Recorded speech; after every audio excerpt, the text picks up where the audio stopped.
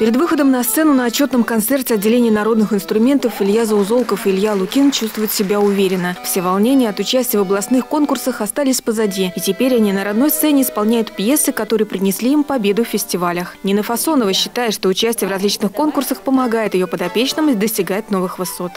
Поэтому здесь есть своя цель. Ребенок должен э, понимать, насколько он вырос, насколько он поднялся, на какую планку. Каждый конкурс дает им какой-то толчок. В марте на музыкальном фестивале в Нижнем Новгороде Илья Заузолков и Илья Лукин стали лауреатами второй степени. А спустя месяц в Иксе на конкурсе «Музыкальные узоры-2019» оба воспитанника детской школы искусств также завоевали звание лауреатов. Подводя итоги своих побед, Илья Заузолков признался, что из двух исполненных пьес ему больше нравится народная композиция? В романсе надо больше исполнитель, то есть чувство, а в как под горкой там нужна техника.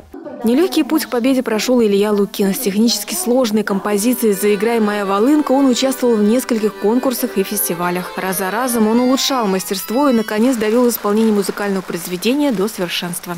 Потому что я играю уже второй год. Она на тот момент, когда мне ее выбирали, она мне показалась сложной, но я с ней справился.